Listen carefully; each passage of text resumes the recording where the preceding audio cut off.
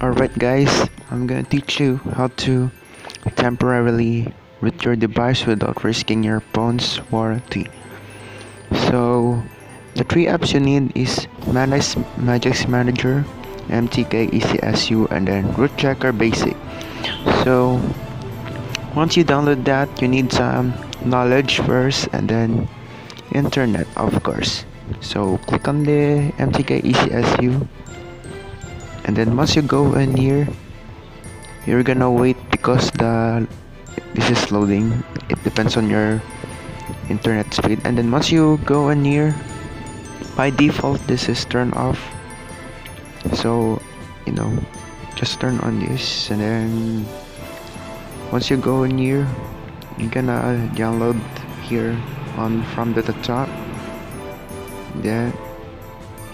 Yeah so and then click on your activate bootless root and then you're gonna reboot your phone.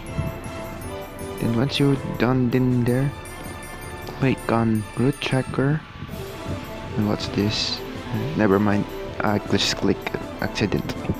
So once you're done there then click on root checker and then verify root. And then congratulations your phone is rooted and then what are the things you can do if you temporarily root your device?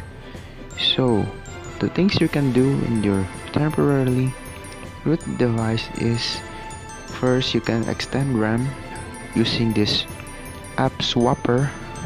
Yeah swap root. And then click on there.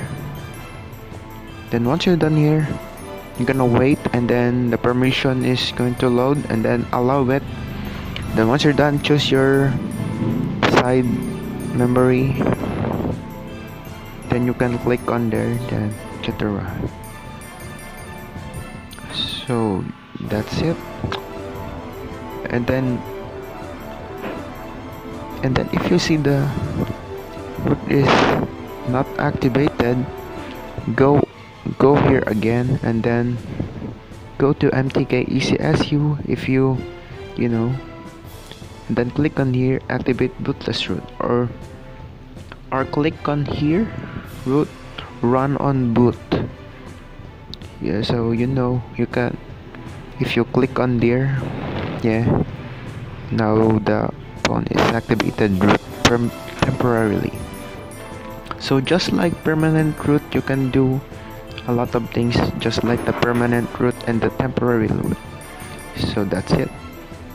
Thank you so much for watching and subscribe to my channel for more tips and tricks you know tutorials and explanation.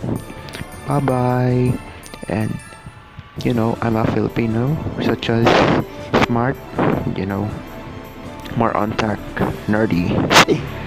So that's it. Bye bye Say sayonara